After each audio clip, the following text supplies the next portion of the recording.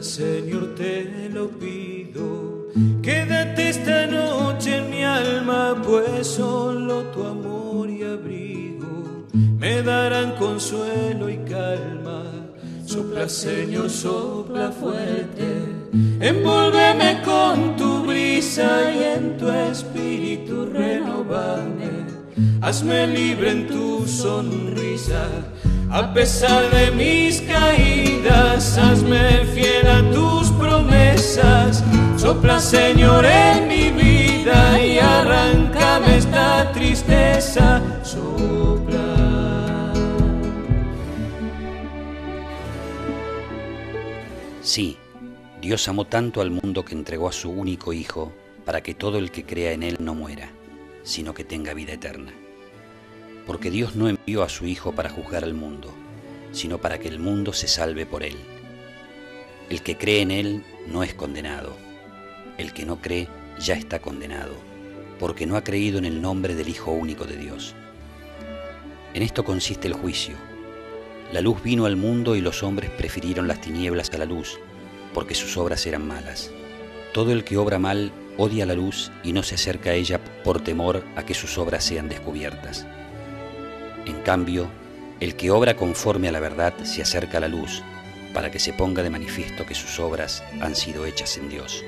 Creo que en este tiempo pascual que estamos eh, viviendo en la iglesia, este Evangelio eh, de hoy es una maravilla, ¿no? Lo que dice Jesús. Dice que Dios amó tanto al mundo que envió a su Hijo único para que todo el que cree en Él eh, tenga vida, la maravilla está en pensar, ¿no? Esto, ¿no? la inmensidad y la imposibilidad que tenemos de pensar cuánto Dios nos ama verdaderamente, porque eh, esto, ¿no? Tanto amó que envió a su Hijo, tanto amó que se despojó de lo más amado para Él.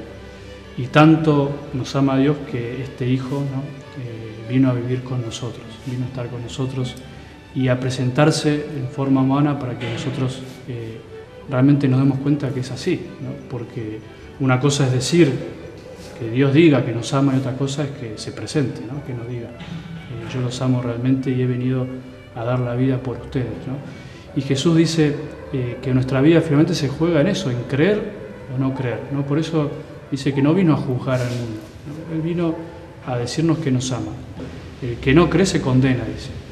Se refiere a que el que no cree eh, solo se, se, aparta de la posibilidad de entrar en comunión con Dios.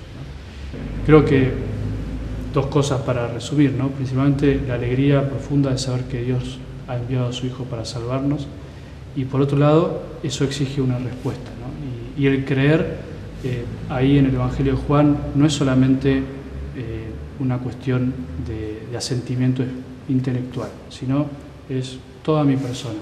Eh, como decía el Papa Benedicto, nosotros no seguimos una idea, sino seguimos una persona.